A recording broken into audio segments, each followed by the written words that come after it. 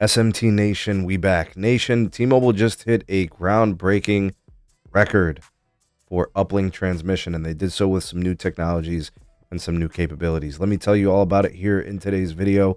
The press release and article from 9to5Mac.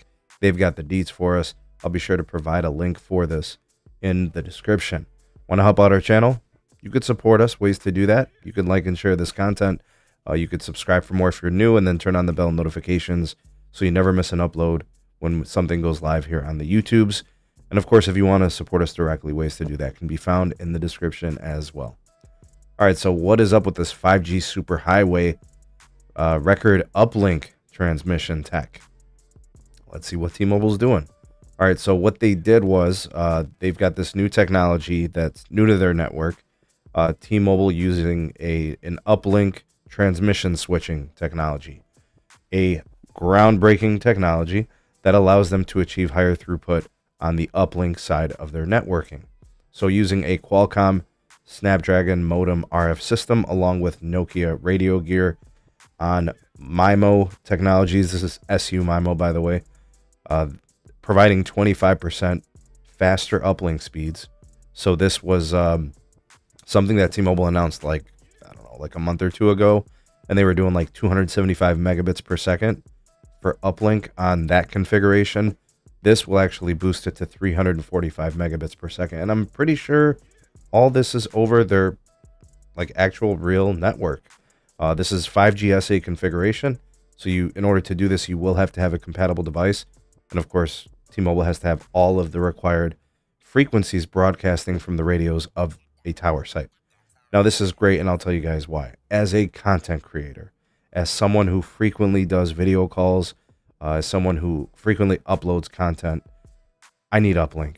I need as much uplink as I can get. All day, every day, give me uplink. The downlink side gets all the love, and you know, with reason, right? Everybody's consuming video, so you know you need lots of downlink throughput. Like 98% of traffic is over downlink, right? And historically that's always been the case, but now we're seeing more and more folks needing more uplink. So now we're getting boosts and attention and advancements in the uplink, and I'm really happy about this. And of course, Nokia needed this too. Right? Nokia needed to show something good after, you know, basically losing out with the AT&T uh, deal to Ericsson and then with Verizon, who's been far gone away from Nokia for years now. They needed something good as a press release. So this gives them a, a little something good to hang their hat on. So this is exciting. Uh, this will also probably help boost you know, fixed wireless access uplink throughput on T-Mobile home internet customer experiences. You know, and, and it's again, you know, the, the future use cases, 5G applications, uplink will become more important than it is even today. All right, so this is exciting. You know, this is cool. This is a great network feat, and uh, whatever the technology is, you know, this this uplink switching technology, you know, hopefully it's something that all carriers utilize. You know, we start to see it on the commercial network, and we can connect to it, and it improves our experiences. And I will tell you, there's room for improvement for T-Mobile's uplink in my market. Uh, I'm not sure what the configurations and the frequencies and the bands were for this, but I wouldn't doubt that it probably requires the rest of their their capacity on their 5G on our side from like DoD and C-band to help with N77. So just throwing that out there, something to consider. And of course, you're going to need a phone that is going to be able to do this, right? So you're going to need a modern Qualcomm Snapdragon phone. Sounds like the S24 type modem. Uh, I think maybe the OnePlus devices have these modems too, and maybe some of the newer Motos will as well. Time to get excited, folks. Upgraded uplink.